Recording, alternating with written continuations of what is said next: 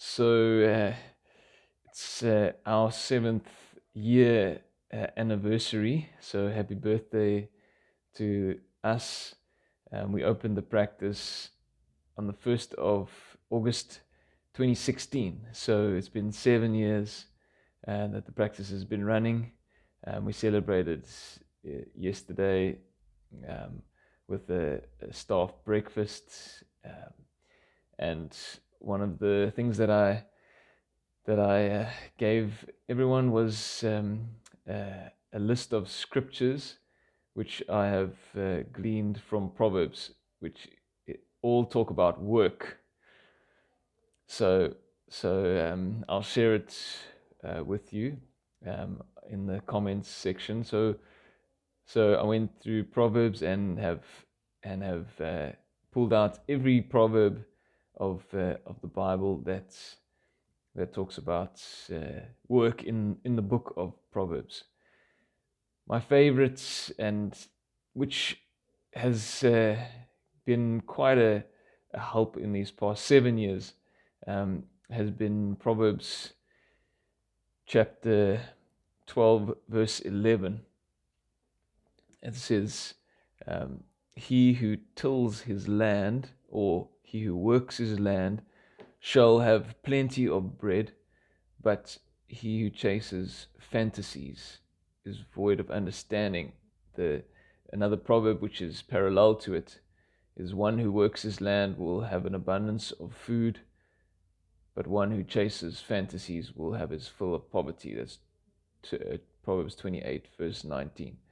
So, so what what I um, received from this was that I just needed to work the land. I didn't have to. I didn't have to determine every outcome. So my job was to work, and it was God's job to provide. So I want to just thank uh, my Father in heaven for his faithfulness and always being there for me, for establishing the practice, for helping us through the difficult times, for being the, the source and you know being uh, our light as we as we walk the journey. Um, so here's to another seven years, and I bless everyone who's listening to this uh, in your work. May may you find the, the sweet spot. May you find purpose in your work, and may your your work become something that you uh, that you find life giving. Um, just yeah, wanted to wanted to mention another thing that has really blessed me has been the realization that that uh, men and women are different, and therefore that we we see work and we experience work differently.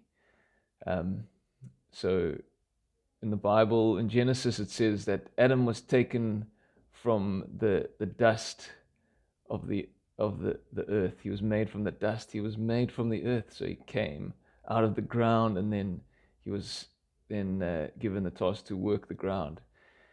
Um, but Eve was made from Adam. And so there is a connection that Adam has to the earth, which is different to, to the way Eve has uh, to, to the earth. So women uh, have a much more uh, emotionally and relation relational intu- intuitiveness intuition um, men are, are more practical um, and and that those differences are meant to complement one another and to work together so so I yeah I just want to honor the women in uh, in the practice that have uh, that have been on the journey and have supported me, especially uh, my wife, Sarah. Uh, I really appreciate and honor you and your role that you've played in the practice. Um, Sarah has she invested, she was our main investor, uh, my wife, and so the practice is largely due to to her uh, her seed that she sowed.